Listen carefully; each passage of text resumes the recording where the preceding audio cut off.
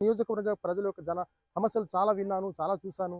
ఎక్కడ చూసినా నిరుద్యోగం ఎక్కడ చూసినా సమస్యలు ఎక్కడ చూసినా ప్రాబ్లమ్స్ ఎక్కడ చూసినా బాధలు ఎక్కడ చూసినా ఆకలి చాలా ఇబ్బందులతో ఉంటుంటారు జనాలు. నా దగ్గర నిత్యం ఏదో ఒక రాయించడానికి ఏదో సెటిల్మెంట్ చేయడానికి వస్తుంటారు.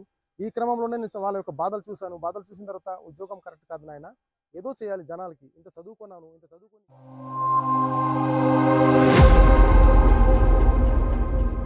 నేను గత పది సంవత్సరాలుగా నేను పబ్లిక్లోనే ఉన్నాను. ఏవో బతకడానికి చిన్న చిత్త ఉద్యోగాలు వచ్చిన ఉద్యోగాలు వదులుకొని పిటిషన్ రైటింగ్ అనేటటువంటి ఒక వెపన్ పెట్టుకుని నేను పబ్లిక్లోనే బతుకుతున్నాను. సుజన్ కోర్టులోనే బతుకుతున్నాను. ముంచుకు హెడ్క్వార్టర్లో ఎప్పుడు ఉంటుంటాను.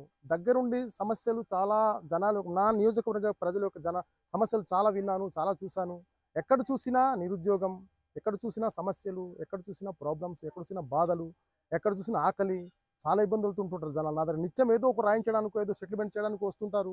ఈ క్రమంలోనే నేను వాళ్ళ యొక్క బాధలు చూశాను. బాధలు చూసిన తర్వాత ఉద్యోగం కరెక్ట్ కాదు నాయన. ఏదో చేయాలి జనాలకి. ఇంత చదువుకున్నాను ఇంత చదువుకొని ఈ విజ్ఞానాన్ని అనవసరంగా పోగొట్టకూడదు.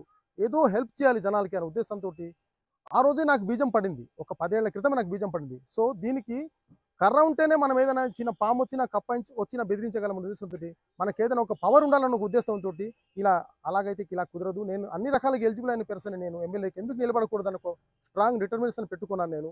ఆ రకంగానే ఆ రోజు బీజం పడింది. ఈ రోజు ఈ రకంగా ఎమ్మెల్యే అభ్యర్థి ఇండిపెండెంట్ ఎమ్మెల్యే అభ్యర్థి నిలబడుతున్నాను అరకు నియోజకవర్గంలో.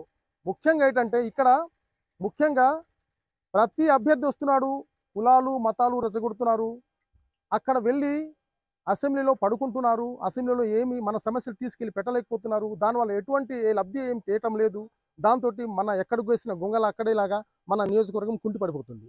అందుకని చెప్పి ఒక దమ్మున నాయకుడు జనాల యొక్క సమస్యలు తెలిసినవాడు జనాల యొక్క బాధ సాధక బాధకలు తెలిసినవాడు ఖచ్చితంగా అక్కడికి వెళ్తే నా నినాదం ఒకటే అడగాలి ఇవ్వకపోతే డిమాండ్ చేసి అడగాలి గట్టికి నిలదీసి అడగాలి. అడగాలి ఆర్థిక ఫలాలు తీసుకురావాలి కులమతాలకి లేదా పక్షపాతాలకి లేదా రక్త సంబంధాలకి